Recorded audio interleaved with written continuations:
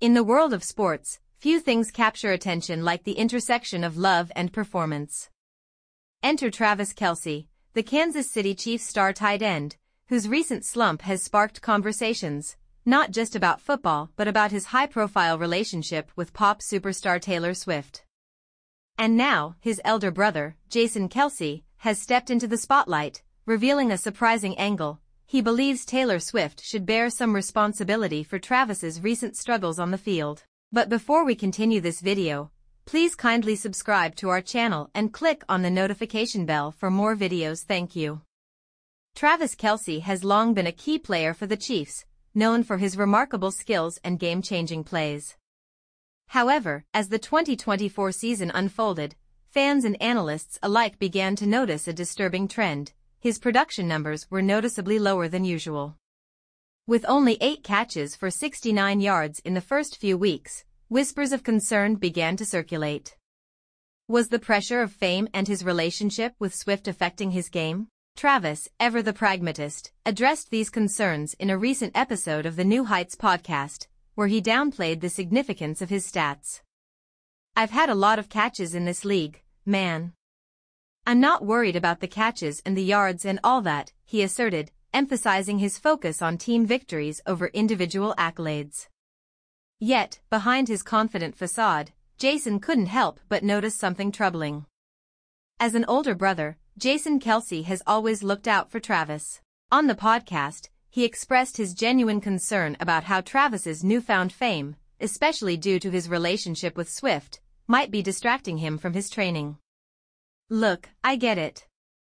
Taylor is a global superstar, and it's exciting. But at the end of the day, this is football. You need to put in the work, Jason stated, his tone serious yet affectionate. Jason's remarks reflect a brotherly concern that many can relate to. He worries that Travis is spending too much time basking in the limelight, attending glamorous events, and hanging out with Taylor instead of honing his skills on the field. I just hope he remembers what got him here, Jason added, hinting at the sacrifices and dedication that propelled Travis to NFL stardom.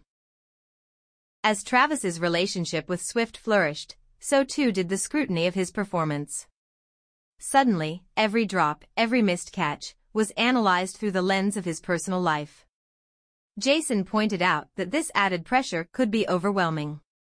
When you're in the public eye like that, it's not just about the game anymore. It's about the story, the narrative, he explained. And sometimes, that narrative can cloud your focus. Travis himself acknowledged this shift in dynamics. I think with how defenses are playing us right now, I'm not really getting a lot of opportunities to make plays down the field, he admitted, recognizing that external factors might be influencing his game. Yet, he still insisted he was dedicated to improving, showing a determination that many fans admire. In the heart of Jason's critiques lies a plea for balance. He believes that while relationships and personal lives are important, there's a time and place for everything. You can't let outside distractions pull you away from your goals, he urged. I just want him to remember that football is his first love, and he needs to nurture that. The juxtaposition of Travis's romance with Swift and the demands of being an elite athlete creates a storyline that resonates with many. It's a tale of love, ambition, and the relentless pursuit of greatness, but also one of potential pitfalls.